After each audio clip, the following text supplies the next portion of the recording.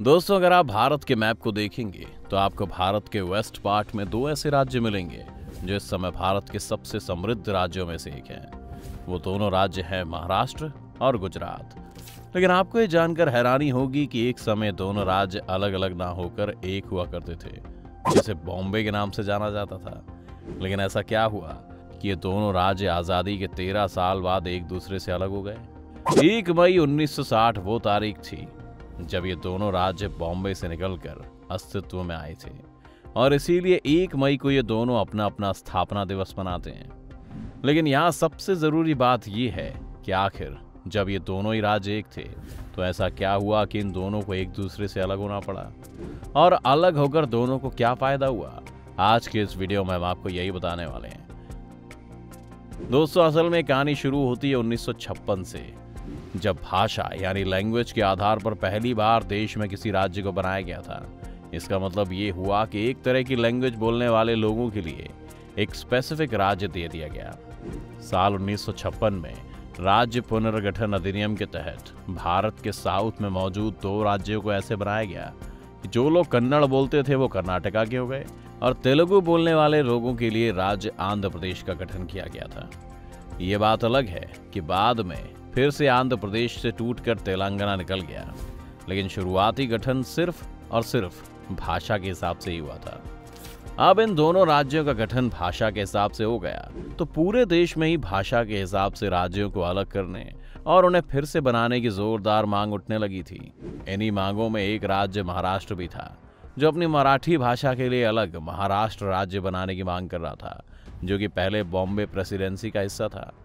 लेकिन ये महाराष्ट्र के अलग होने की मांग आज़ादी से पहले शुरू हो गई थी। संयुक्त महाराष्ट्र मोर्चा हर जगह से अलग राज्य के लिए बात कर रहा था, जिसके बाद आज़ादी मिली और जब उन्नीस सौ तिरपन में राज्यों के गठन का एक्ट बना तो उसमें इन लोगों से ये कहा गया कि आप लोग महाराष्ट्र की मांग को लेकर अपनी एक रिपोर्ट बनाइए और उसे पेश कीजिए। बाद में 1955 में एक रिपोर्ट पेश की गई, जिसमें महाराष्ट्र के साथ ही साथ विदर्भ और हैदराबाद के उन इलाकों को भी इसी इलाके में जोड़ने की बात की गई, जहाँ मराठी बोली जाती थी। इस पूरी रिपोर्ट में महाराष्ट्र की मांग को तो सही ठहराया गया है, लेकिन उनका कहना यह था कि महाराष्ट्र और गुजरात दोनों अलग नहीं होंगे, एक साथ रहेंगे, जिन्हें महाराष्ट्र के नाम से जाना जाएगा। लेकिन इस रिपोर्ट की ये बात संयुक्त महाराष्ट्र मोर्चा को पसंद नहीं आई, और वो कहने लगे कि ऐसा नहीं हो सकता।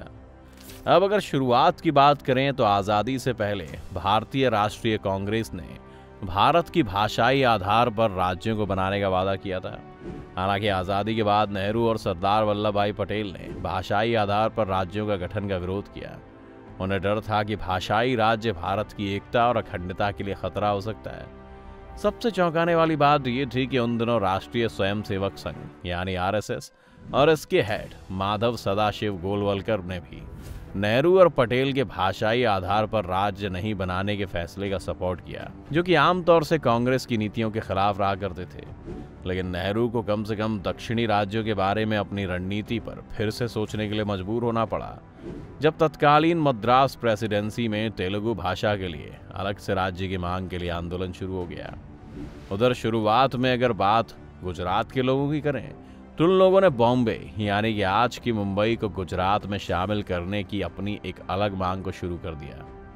1947 के बाद बॉम्बे प्रेसिडेंसी में महाराष्ट्र, गुजरात और उत्तरी कर्नाटक शामिल थे।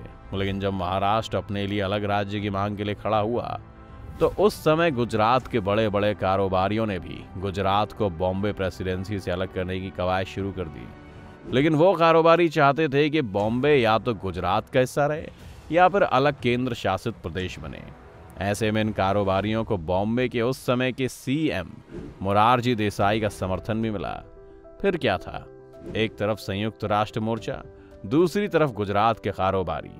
दोनों अपने अपने हिस्से के लिए मांग करने लगे। इस मांग की हद तो तब हो गई, जब महाराष्ट्र संयुक्त आंदोलन के लोगों ने विरोध तेज कर दिया, और उस समय के राज्य के सीएम मुरारजी देसाई ने इस आंदोलन को खत्म करने के लिए गोलियाँ चलवाने का आदेश दे दिया, जिसमें 106 आंदोलनकारियों की मौत हो गई।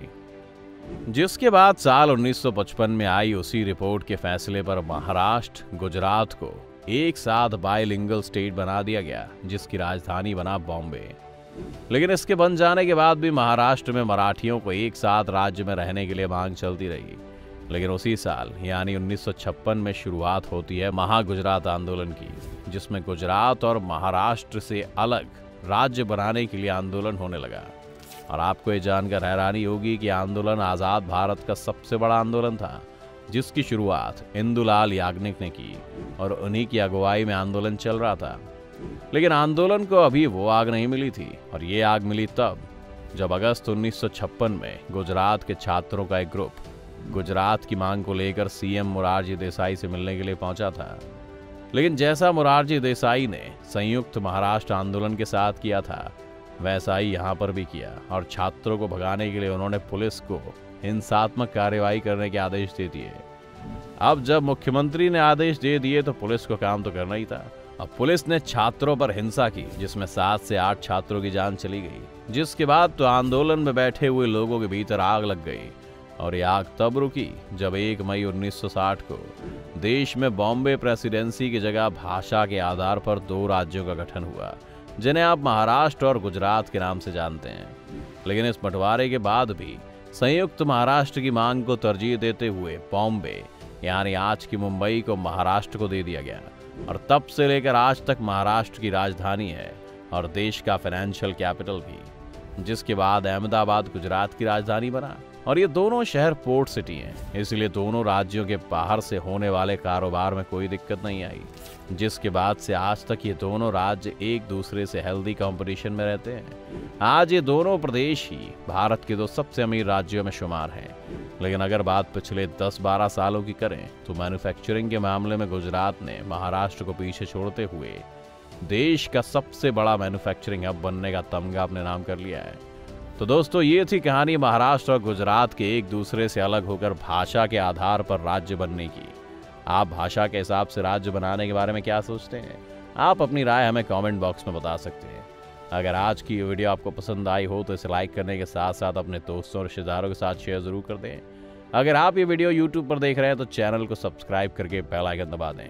अगर फेसबुक पर आप ये वीडियो देख रहे हैं तो फेसबुक पेज को जल्दी से लाइक करें। फ़िलहाल के लिए इतना ही। अभी के लिए दीजिए हमें इजाज़त। आपसे मुलाकात होगी अगली वीडियो में। शुक्रिया।